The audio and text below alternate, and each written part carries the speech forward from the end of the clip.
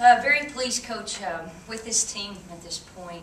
This was, this was a tough week, and uh, a tough week where I challenged mentalities, uh, challenged our toughness, and whether we'd buck up and fight. Uh, we knew Missouri State was going to come in here and, and not be real happy coming off a loss, and uh, two, what happened at their place. So I, I'm just pleased of our mentality change, most of all, and our fight um, for 40 minutes. For these guys, for their first time sweep, I think it's huge. Uh, it's something you know that these guys haven't done. So they, they've accomplished another first. They had a ton of firsts the first round. They want to continue with that progress the second round, um, whether it show up in the win-loss column, and uh, it, it showed up there tonight. Um, yeah, I've seen a, a hunger in all of us. I think that we've been practicing hard, like Jody said, and I just think that it was a change in mentality, and we were ready and wanted to play this game.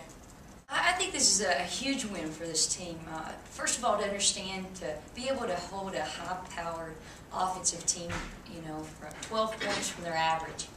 And, and that's one thing that we want to thrive on here at, at Wichita State. It is our defense and it is rebounding. And I truly am one of those that believes that is what wins championships and what takes you to the next level.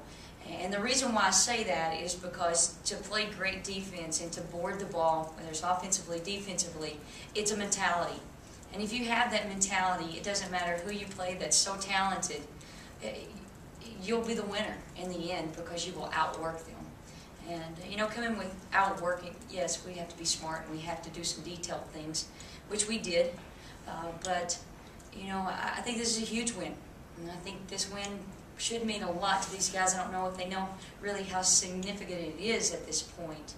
Uh, but for a coaching staff and a, a player that's been here with us for one year, uh, there's no doubt uh, that this was a statement made.